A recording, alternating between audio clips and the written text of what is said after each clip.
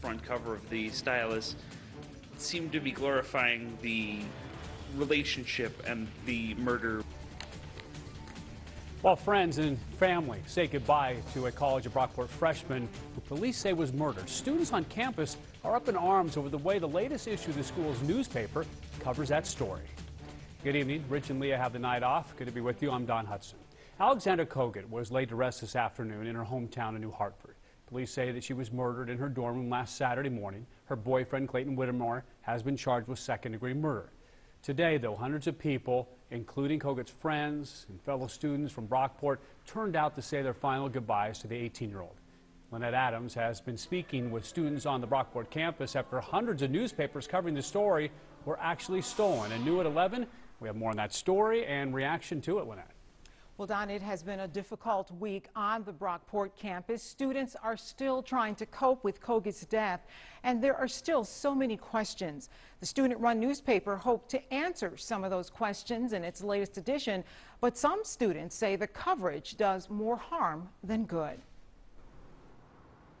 I'm especially a little bit annoyed with the Facebook statuses. This is the newspaper that is the talk of the campus.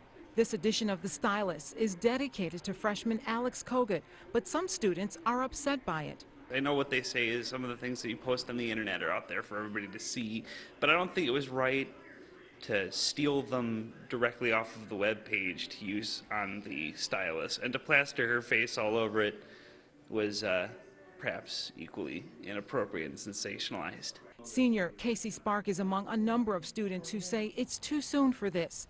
On the day Kogut is buried, the front page is filled with pictures of her and the man accused of killing her.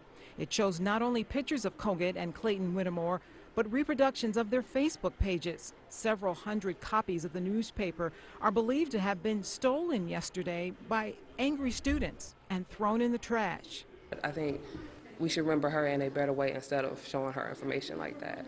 The paper covers the investigation, domestic violence, and there's a story about Kogut and her accomplishments. We pulled these photos, we took screenshots, and we, looking through them, felt that it told a story, and the story needed to be told.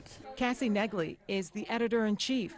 She's heard the criticism, but she says she stands by her newspaper. Someone came up to me yesterday and said that she saw this front page and she realized what could happen when you're in an abusive relationship and she said that cemented the idea in her head that she needed to get out of hers.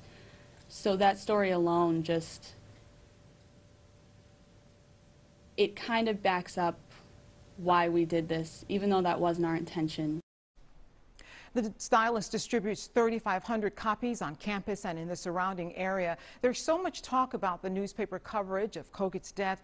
While we were in the student union waiting for our interview, an alumni came by to get a copy of the paper. He'd heard students talking about it in a local restaurant and wanted to see what it was all about. So this crime has certainly had an impact on the university and the community around it. Yeah, one can only imagine a whole school. Now, I didn't write for the college newspaper back in the day, but I wrote for my high school newspaper. In fact, faculty was standing over us. So what is it like at school? Is faculty not watching us or? Well, it's a student-run newspaper in every sense of the word, so the students are free to write what they choose. Yeah, uh, apparently that's the direction they went. Lynette Adams, thank you very much. Moving on, and new